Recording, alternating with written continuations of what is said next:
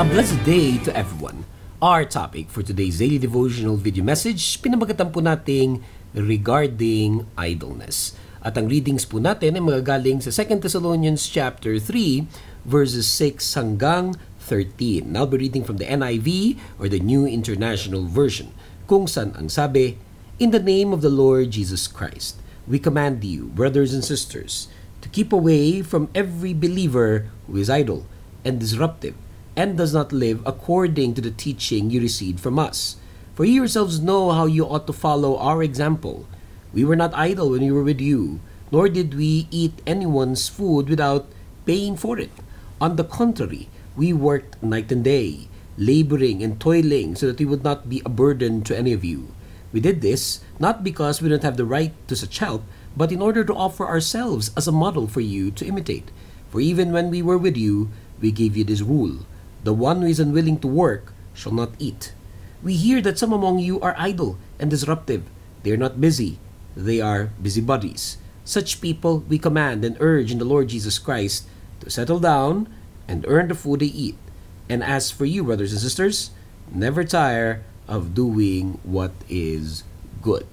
Na mula po sa mga verses na binasa po natin sa araw na ito, meron pong mga paalala sa atin concerning idleness or mas kilala po natin bilang katamaran.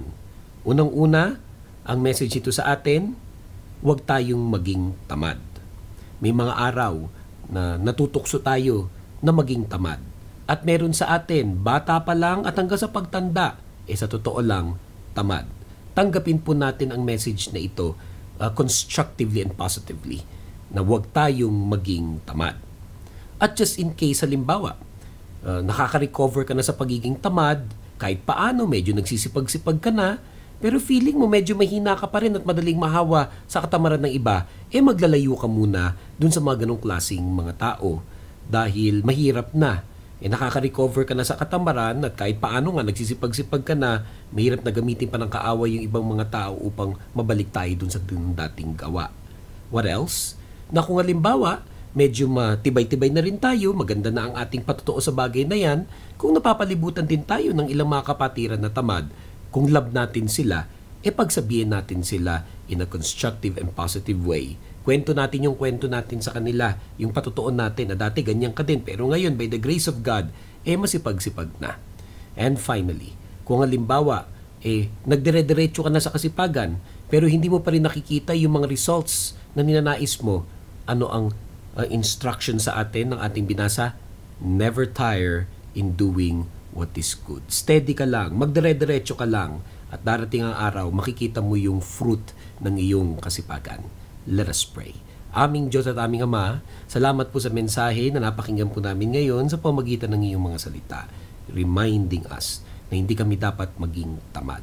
Tulungan niyo po kami, Panginoon, na maging masipag at maging instrumento kami upang ma-inspire iba na maging masipag din. At sa mga nakikinig nito ngayon na masipag na pero hindi pa rin nila nakikita yung fruit ng kanilang labor, may they persevere, may they not give up, may they continue to be patient, give them the strength and increase their faith and their hope, Lord God, in your grace and goodness to our lives. Sa darating din ng araw, makikita rin namin ang fruit ng aming kasipagan, ang fruit ng aming labor. Bless your people today as you pray. In Jesus' name, Amen.